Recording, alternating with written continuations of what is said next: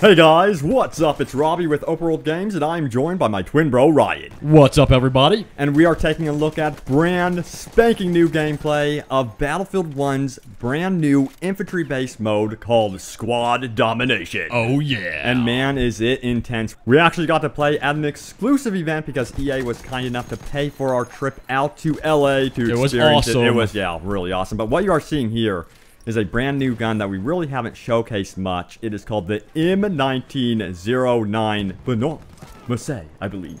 I think it's French or something. I don't know what, what We're not sure of how to weapon it pronounce is. it. Yeah, but it's like has all these squiggly lines in the pronunciation. But it is a badass weapon. Now, this is Ryan's gameplay here, and uh, he is mowing down the competition. Yeah, so I'm using the submachine guns in the game, and they Yeah. are very powerful. Here, I'm on a turret right here, taking down the enemies in the central courtyard. That's what I like to call it, with the windmill in the center. This is one of my favorite parts of the map, especially if you get the opportunity to get on the turret at the right time. And right here I did, you can see that I'm mowing down the enemy. I love how they cut out the section of this map here. By the way, guys, this map is a part of the larger Conquest map. Yeah, I do It's like a smaller that. yeah. division of it, and they chose the right area because it makes for some intense close quarters combat. Yeah, and the thing about uh, squad domination is that there are no vehicles. So if you are kind of annoyed by vehicles and you're like frustrated, this is a good way to change up the gameplay and just to have fun doing, you know, head-to-head competitive uh, competitions in Battlefield 1. Plus, it is a really, really good way to get used to the weapons as we see here. This is the Model 10 shotgun, and it is a beast. Yes, I died Yes, it is. from it so many times. I can't tell you guys, and it really does work on squad domination. So if you really want to try uh, a really good weapon, go for the Model 10 shotgun on squad domination. Yes, and Robbie figured out quickly after dying from it, he made sure to kill the enemies. Yeah, exactly. I learned from my So you can see here, here he's using it. And again, it's really showing the close quarters combat of this game on the interior uh, spaces of this map. And again, all of this is destructible. And Oh, if we yeah. weren't clear um, with the squad domination mode, it's very similar to Conquest. You have to capture objectives. And like Robbie mentioned, it does not have vehicles. Yeah, So it's really, a really nice thing. cool how you have that option to go into a more smaller game mode that's more focused on uh, solely infantry combat. So if you, again, if you're annoyed with vehicles, you constantly are getting killed by tanks. Mm-hmm. Well, first of all, you need to figure out how to kill the tanks. If that's happening, to there's no excuse. You need to figure out how to kill tanks. But um, this is a fun, more small, community competitive game mode. Yeah, and I think it's going to be one of the better ways to rank up very, very quickly in uh, Battlefield 1. That was the case That's true, in yeah, previous true. Battlefield games, so I think this is going to be your go-to mode to get into the game and really, first of all, get used to the base mechanics without worrying about the vehicles, because once you're outside the vehicle, you it's a completely different game.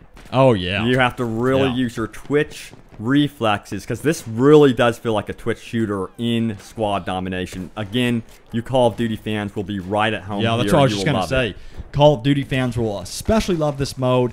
You know, I love Call of Duty, and um, I love this mode because it's a shorter game mode. You know, it's more focused Yeah. on um, the infantry-based combat. But honestly, in all honesty, guys, I do prefer the larger-based conquest mode because it has the vehicles in it. I am a Yeah, huge we- fan of the tank, the airplanes, all of the vehicles. The classic Battlefield. You know, mode. I do like both modes, but uh, it'll be fun to switch back and forth because it really depends on your mood. Let's say you're Yeah. like, oh man, I'm tired of the tanks. You know, I've had enough of the longer game mode. I'm more in the mood for a faster, uh, quicker paced um, action game mode. This is it for you. and we have major mood swings. but uh, you'll also notice something about the gameplay as well is that the weather changes dynamically here. That is true of both regular conquest and squad domination. I was worried that they would completely leave that out of squad domination, but as you can see, it is Yeah. full on raining here, and this is absolute carnage. That grenade did not go well at all. No, it did not. Uh, but I managed to recover here in this gameplay clip, but man, oh man, it's so good to see that they have many different variations of weather, and that's Yeah. all dynamic. You'll also see later on, I believe, uh, some fog, full-blown fog, which makes sniping very, very difficult. But my question is for you, Ryan. Uh, because of the fog, there's also the spot mechanic. It's called 3D spotting. You can spot the target, and you see a big red dot above their head. But in the fog, it makes the fog kind of pointless because you see all these red dots. Do you like that, or what do you think about 3D spotting? So with that, I think it's still important to the game because the fog adds a level of difficulty anyway Yeah. to the game. That spotting kind of aids your teammates, going Right. to aid uh, you during those difficult times where you can't see anything. So I'm fine with it. I've had no problem with it. It's very similar to past Battlefield games, so I'm fine with it. Yeah, and here's the Lewis gun. This thing Oh, this is thing's serious business badass, right here. yeah. And you can go prone with this weapon and uh, deploy your bipod, and basically it makes it insanely accurate. It's like a machine gun, light machine gun sniper, in other words. But you can do a lot of damage just by hip firing it, as you could see, and it causes a lot of carnage from uh, quite a distance. But guys, there you have it. Squad domination. It is insane. All out infantry warfare, a smaller scale game mode uh, for those street to street firefights. A ton of fun. Guys, stay tuned here to Open World Games for more Battlefield 1 gameplay and Battlefield 1 news. Thank you guys so much for your continued support. We recently hit 400,000 subscribers. Yeah, thank you guys. And we really, really are grateful for you guys. But we will see you on the battlefield later, and thanks for watching. Thanks for watching. See you next time.